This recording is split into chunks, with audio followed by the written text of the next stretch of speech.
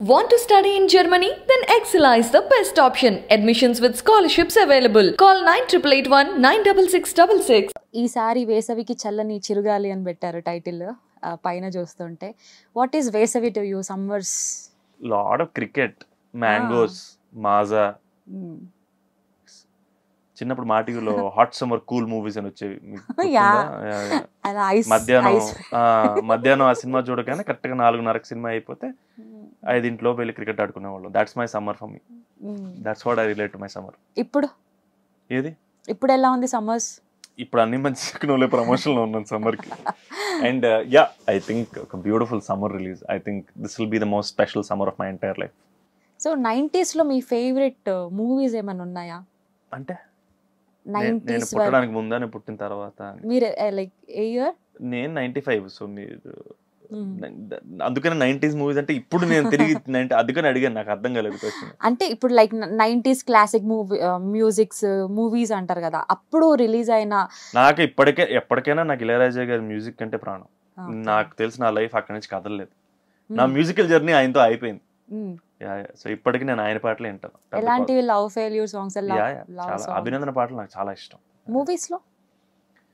ఏ director సినిమాలు like so and so hero సినిమాలు అలా? చాలా మంది ఉన్నారు.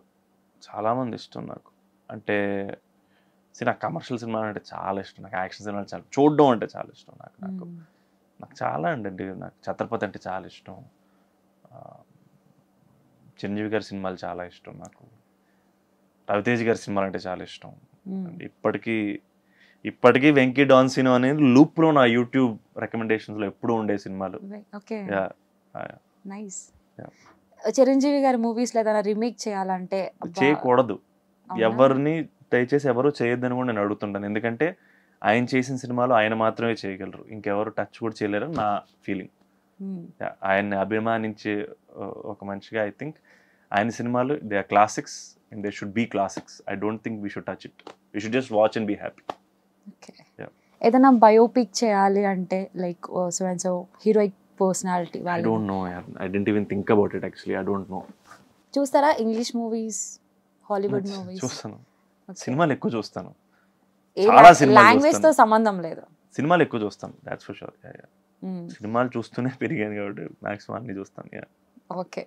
ఎప్పుడైనా ఏదైనా సినిమా నచ్చకపోతే you will be like walking out of థియేటరా? లేదంటే కూర్చొని సినిమా ఎలా ఉన్నా పర్లేదు చూసే టైప్ ఎలా ఉన్నా పర్లేదు చూస్తాను. సినిమా అయిపోయింది అంటే అది ఇక్కడ middle class mentality ticket waste అయిపోద్దని మీకు అర్థం కావట్లేదు. సినిమా ఇంటర్వెల్కి అర్థం అయిపోయినా సరే మొత్తం సెకండ్ హాఫ్ కూడా కూర్చుంటారు. మళ్ళీ టికెట్ వేస్ట్ అవుద్ది.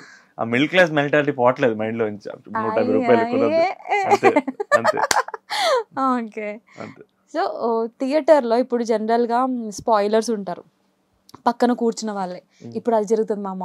ఇప్పుడు ఇది జరుగుతుంది. ఇలా చెప్తూ ఉంటారు. చూసేది చూడనివ్వరు.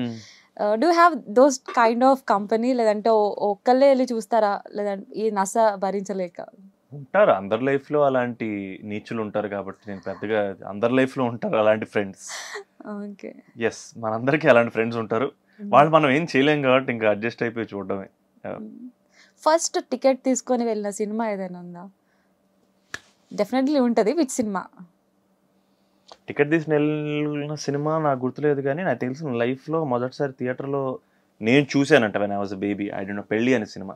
నేను చూశాను నాకు చెప్తారు నాకు కూడా తెలియదు. ఓకే. బంక్ కొట్టి చూసిన సినిమా? ఆ బోల్డ్ అని బోల్డ్ అని ఎన్ని సినిమాలు? నేను టెంపర్ అలాగే చూశాను బెంగళూరులో ఉన్నప్పుడు. టెంపర్ వాస్ రీసెంట్ మూవీ అవును కాలేజ్లోనే బంక్ కొట్టాను మరి. స్కూల్లో బంక్ కొట్టాలంటే కష్టం. మా స్కూల్ అజీజ్ నగర్లో చిలుకూరు దగ్గర ఉండేది. అక్కడ నుంచి బంక్ కొట్టి రావడం అక్కడ చుట్టుపక్కల థియేటర్లు కూడా ఆ టైంలో అసలు లేవు కాబట్టి ఇప్పుడు ఉన్నాయో లేవో కూడా తెలియదు కానీ అప్పుడు ఆ టైంలో అసలు లేవు. సో కాలేజ్లో నేను బెంగళూరులో కాలేజ్లో చదువుకుంటున్నప్పుడు బోల్డ్ అని సినిమాలు అలాగే చూశాను. నాకు బాగా గుర్తు టెంపర్ అలాగే చూశాను. మరియానా ఒక సినిమా దృశ్యం ఒక సినిమా అలాగే చూశాను. బంక్ కొట్టేసి వెళ్ళిపోవడమే.